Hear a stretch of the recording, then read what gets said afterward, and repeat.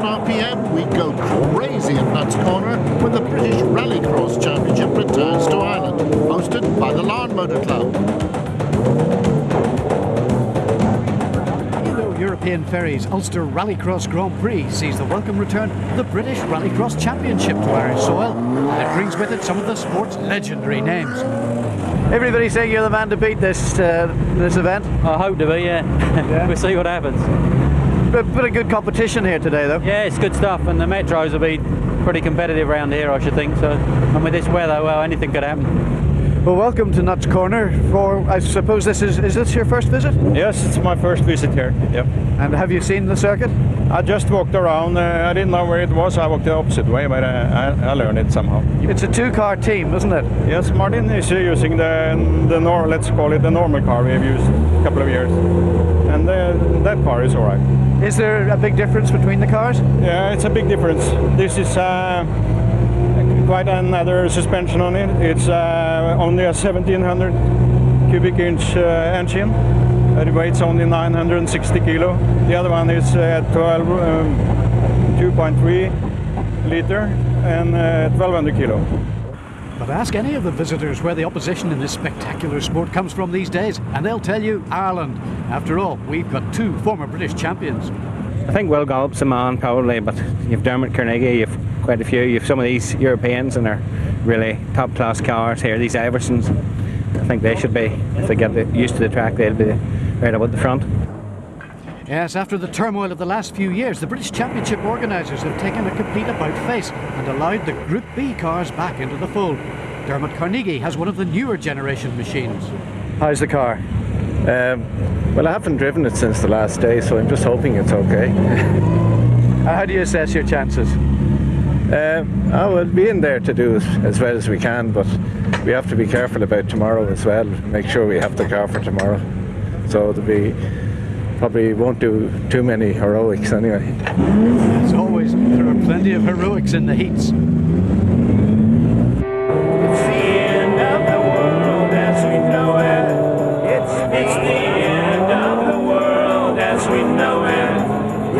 It's the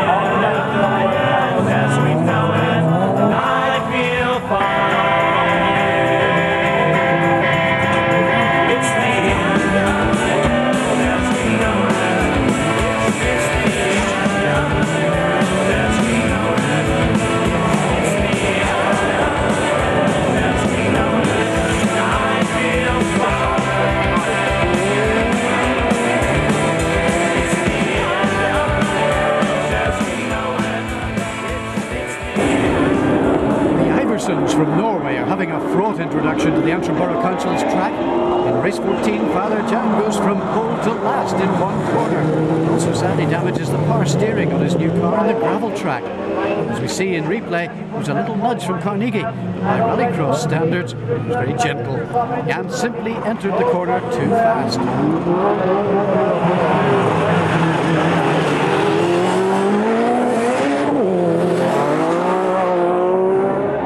race 27, Biggerstaff is on pole, and there's more trouble for the Norwegian family. Martin gets a friendly reminder that Dennis Biggerstaff is right behind him. He ignores the County Down man's intentions to lead the Metro at the end of the first lap.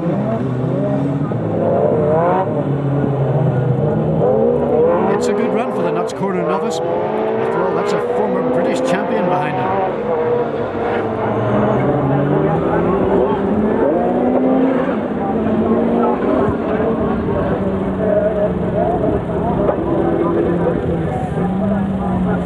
Lap three, still ahead, with Carnegie surprisingly trailing in third.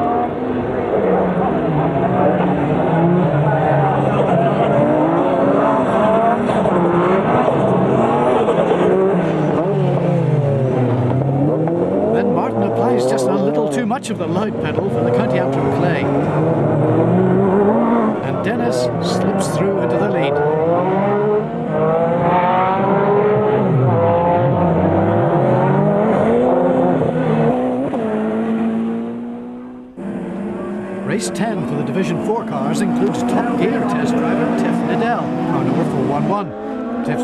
company, however, as that's John Haffey in car number 440. Squeezes through the middle to take the lead. Tiff is into a synchronised Nova spinning display.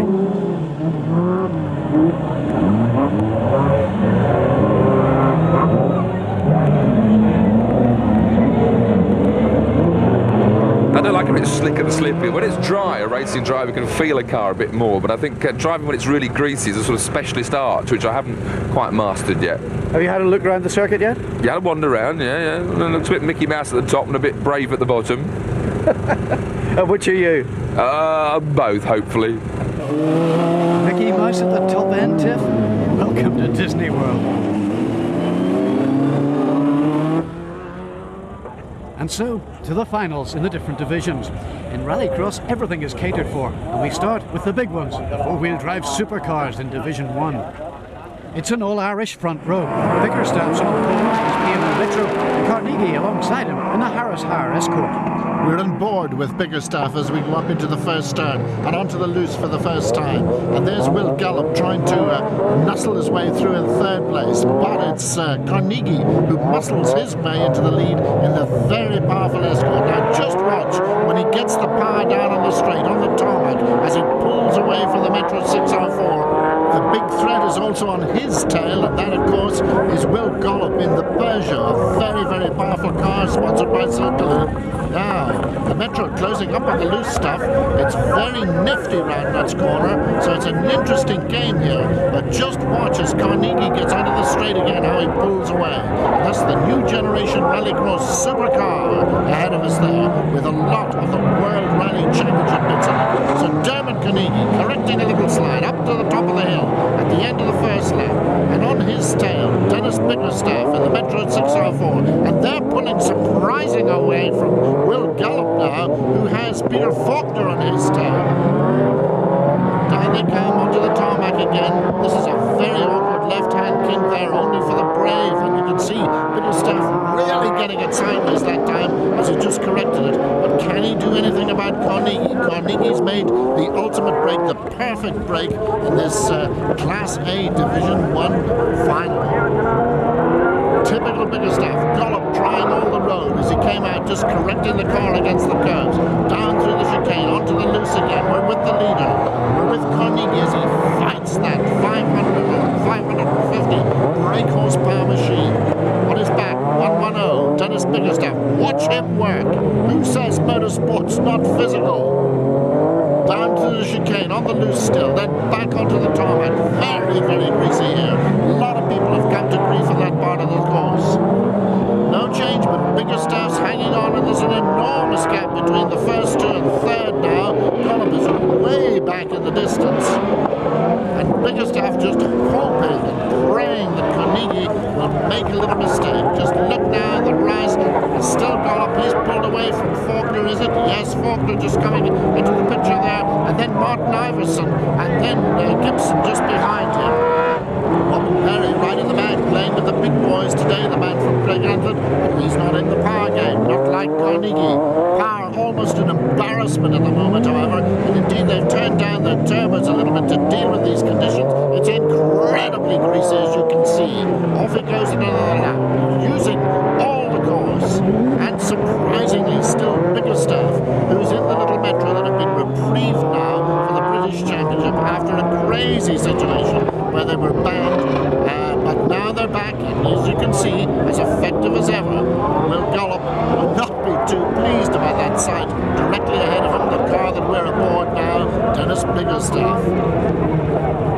So Biggerstaff, very tricky this. You've got to get down into second gear, onto the loose again, up the hill, quite a steep rise there, and you mustn't drift wide here. This is the critical part Too many people, and he's right now on Carnegie's tail again. Made up an awful lot of ground there. But it's all too late because there's the checkered flag. Carnegie takes it, Biggerstaff second, Gollop third, Faulkner fourth, Iversen fifth, and Gibson in sixth place. Division 2 final, two-wheel drive over 2150cc cars, also has a strong Irish representation. Davy Francis is on pole position with David Patton alongside. James Murphy's next, with the English opposition coming from John Sampson. And John Sampson makes a good start in the TR. He's just in third place there on the outside as they come into the first corner. A good start also from Davy Francis, who leads, but I'm afraid Patton's gone wide. The classic mistake here today at Nutts Corner. It's oh so breezy. So Sampson is up into second place. And then I think uh, In third place is Patton. But Murphy really lost out. He went right to the back. But look at Davy Francis, very, very experienced man from Donaghadee, prepares his own car, has been rallying Quarry Crossing uh, for years and years. A beautiful driver, a really stylish driver. Can't afford to get right up into the big time of the supercars, but does extremely well in Division 2. But is going to have to watch his mettle today because Sampson is on flying form. No change after five laps. Sampson's still there, worrying Francis' tail. Francis seems to be in control. Only about three corners to go, and that was the crucial one that he just got through there. It really is going to require now a mistake from him, or he's going to take the Division 2 final. It's looking pretty good at the moment, but Sampson makes a last-minute run. But Davy Francis gets it. Sampson second, and Patton is third. Clive Richardson is the firm favourite for the Division 3 final in his Happy Astra. Surab Nazar in the Peugeot joins him on the front row. And makes a sensational start. That's him on the outside. He's coming up alongside. He's in the wrong position for the first corner, but amazingly, it's Richardson who goes wide. A very unusual mistake by that uh, Clive Richardson, really a bit of a superstar here at Nutts Corner. So, Nazar in the lead. But how long will it last? And here's somebody else, Brendan Mooney, going a bit ballistic and taking a rather alternative route there. Nazar still in the lead, but look at Richardson. He's got a beautiful run now into the right-hander.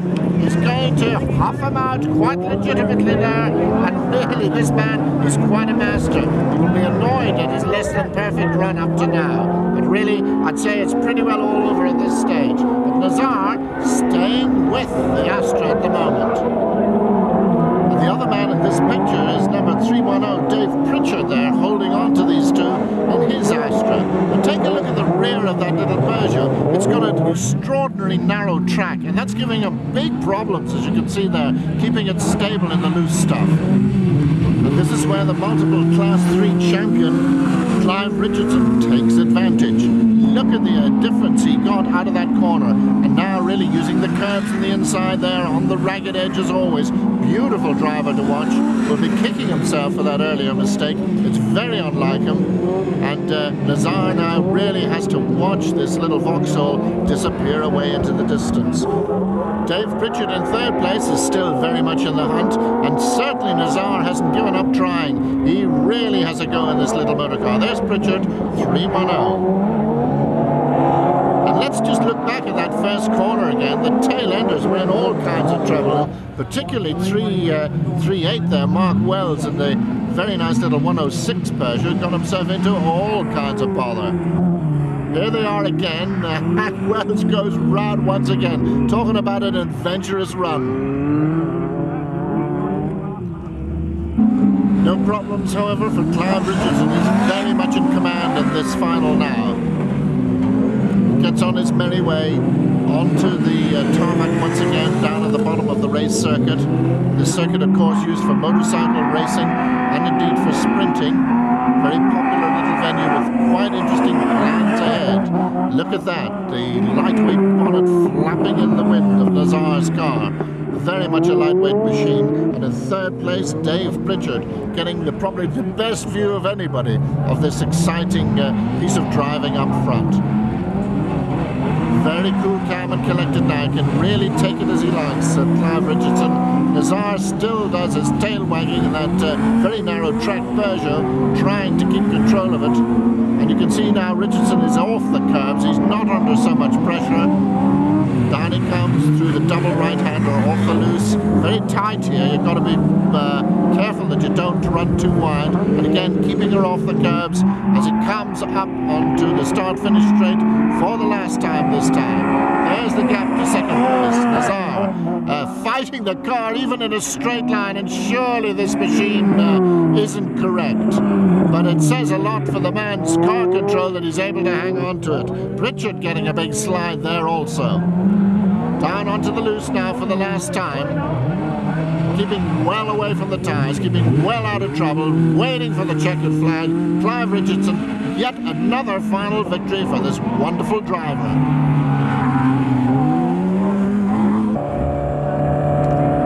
Division 4 final is for cars up to 1650 cc's and includes Ulster's John Haffey, who's on pole position with fellow countryman Norman Beggs alongside him. And it's into this ferociously competitive group that Tiff Needell has thrown his hat. The Needell match, I suppose you could call it. Earlier, Tiff gave us the inside story on Rallycross.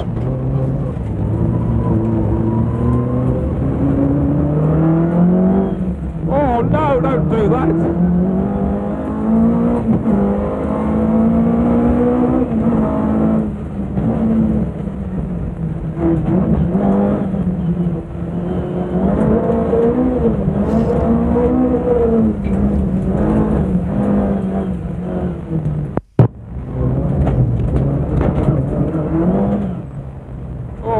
So slippy.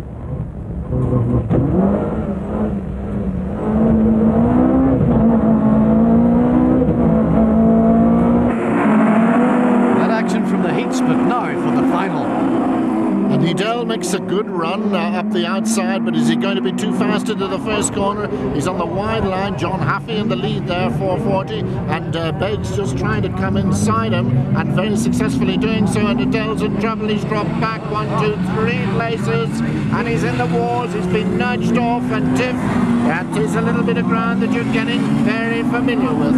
I'm afraid uh, maybe back to the drier circuits. So Tiff at the back and up front John Haffey 440 really beginning to pull out now a little bit. You can see he's almost half a lap ahead. We've skipped ahead onto the final lap of the Division 4 final and there's the battle for second place between Norman Bates from Dromara and Dave Ward in the Little Metro. Ward uh, going across the grass, no problem at all to John Haffey, of course, who's used to the supercars but has now come back down into this division just for a bit of fun. Controlling the car, using all the road a little bit more, heading for the checkered flag and another piece of silverware for the Haffey sideboard. Who said minis were dead? Barry Rogers and Stuart Bowes blast their historic little bombshells off the line in the Division 5 final for up to 1400cc modified cars. And it's Stuart Bowes who's got the jump. Rogers in second place, and he's been attacked at the moment by Mark Kay. Kay nuzzles his way through up into second. Dresser is in third there in the more modern Metro. And then way back, the man who was in pole position, Barry Rogers, 510. He won't be pleased about that. But Stuart Bowes leads, and in second place, Kay. And this is mini mayhem, and isn't it very entertaining? Tremendous stuff indeed. Down they come onto the tarmac again, and Bowes seems to have got a little bit of advantage at the moment. Somebody going very wide there in the background. And out they come onto the tarmac. Kay is marking up a challenge. We've skipped ahead a few laps, but Kay looking for a gap through 545 there. Mark Kay, and there, man going in big trouble. Mike Dresser gets a beautiful little tap from Barry Rogers, who sends him on his way. That puts Rogers back up into third place, but I don't think anybody's going to touch Stuart Bowes today. Or are they? Rogers goes very wide in the background, uh, so he's lost another grand, but not a. Understeering out towards the checkered flag, it's Stuart Bowes from Mark Kay and Rogers in third place. The Group division sadly has only three entries a Subaru, a Toyota, and a Ford. But as the Impreza is driven by a Helmut Holfeld, a Dubliner with a German name and a French mother, I suppose you could say it was international. The real action came in the heats between Tony Bell and the Celica and Holfeld's Subaru.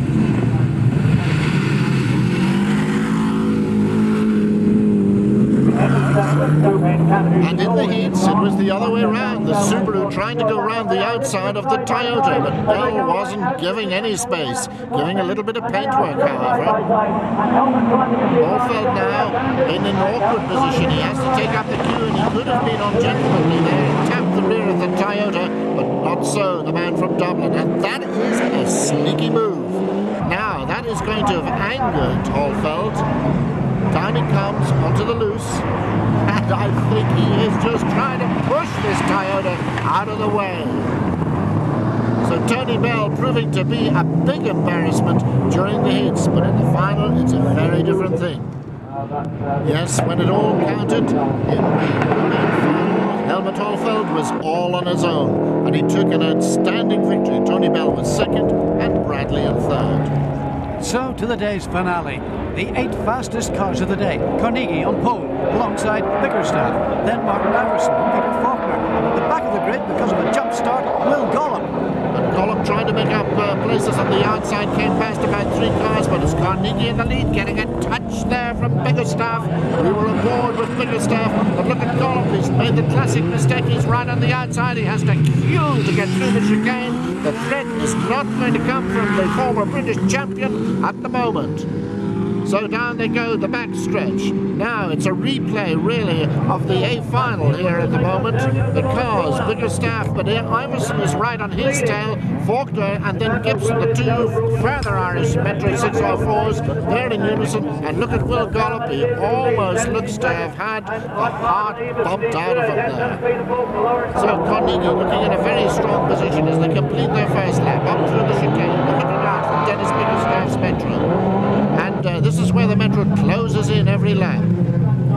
There's uh, Carnegie, Dermot Carnegie, who came up through auto testing, an extremely experienced man. He's been in motorsport for over 30 years. Biggerstaff has virtually stuck to rallycross most of his career, but recently did a bit of rally. And right at the back there, Helmut Hohlfeld, the man who came through from the Group N final, as he was one of the eight fastest men of the day. So indeed was John Haffey, but sadly he didn't. He wasn't able to start in the little Nova. So the battle is on for first and much, much closer this time.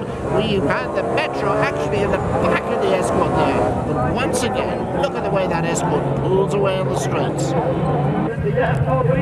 Raining heavily as it has been all day, conditions really couldn't be worse. And of course, a big disadvantage for the second place man because he gets a vision problem just about here.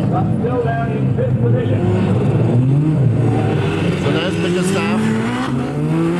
Kimball Brothers car getting the grip down early. He's got a better run this time. He's not losing out so badly down the straight uh, to the escort as he had previously, and he's got a good run onto the loose. But it's really just trying to find a gap. Can he nuzzle his way down the inside? There's no gap being left by the Dubliner, quite legitimately. And Dennis using all a little bit more. We're with the leader now on board. He's taking the odd little glance, no doubt, in his left-hand mirror. Up he goes up onto the loose again, and you've got to be very careful. You've really got to be quite slow in here so you don't drift wide. Almost a sequential box you see now there in the escort. Great stuff. The huge crowd here, despite the weather, really enjoying it. Iversen, Mark Iversen, son of the father and son team, they're in a very good third place. And there's Faulkner, there's Gibson, and there's Gollop, right in the back, Helmut Hohlfeld time is running out for Biggerstaff. He really needs a mistake now from the Dubliner, and they are very, very rare. This car in uh, even looks a little bit like Carlos Sainz Works cars, got a lot of World Championship bits on it. Again, we're with the Metro in the chase. Again, up over the curves, millimeters, fractions of paint uh, from the tires. When it comes to paint, that's no problem, of course, for Biggerstaff, because that's the business he's in. Carnegie. Uh, look at the understeer. The car slides out very wide that time. Checkered flag. What a day for the Dubliner. He's won final. He's won his division final. Maximum points. I've driven with Dennis a lot, and uh, we've driven very closely a lot, and we've raced for a good few years now. And I can drive, and I know quite well that Dennis wouldn't do anything wrong on me. So I was quite happy there, really. Yes, was expecting to see Will, but when Will did a jump start there, and he was put to the back, I was slightly relieved, to say the least. But uh, because Will, he can be very quick, obviously, and uh, he's always a danger, no matter what position he's in on the grid. Well, many congratulations. Uh, a tremendous drive in very difficult conditions. Right, thank you very much. Dermot receives the trophy from James Esler of P&O European Ferries and the Deputy Mayor of Antrim, Mr Sam Dunlop.